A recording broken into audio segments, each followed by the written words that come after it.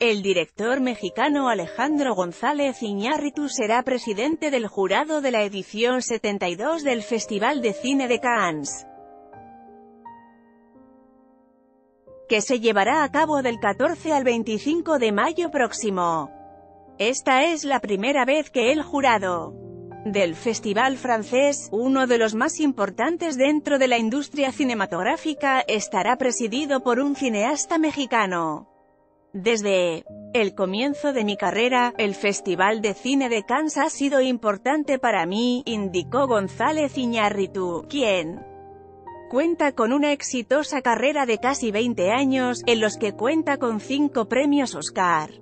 La ocasión más reciente que el mexicano participó en Cannes fue en 2017 con la instalación en VR, Carne y Arena, virtualmente presente.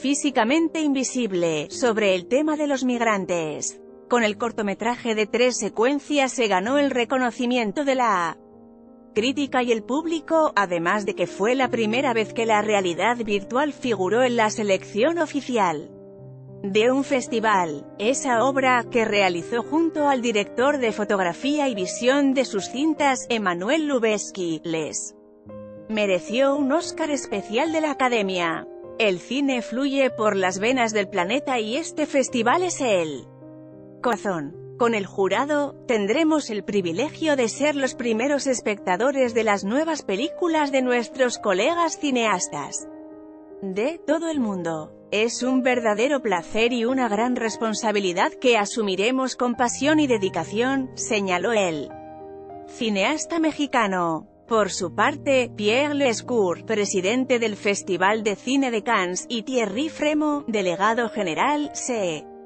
mostraron felices que el cineasta mexicano haya respondido a su invitación.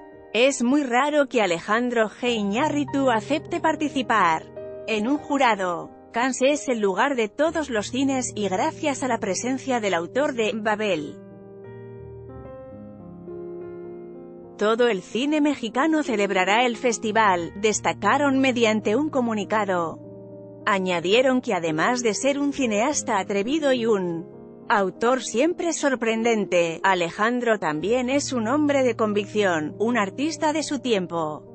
Alejandro González Iñárritu sucederá Kate Blanchett, presidenta de la edición 71 edición del Festival de Cine de Cannes cuyo jurado otorgó la palma de oro a, a Family Affair del director japonés Koreeda Hirokazu.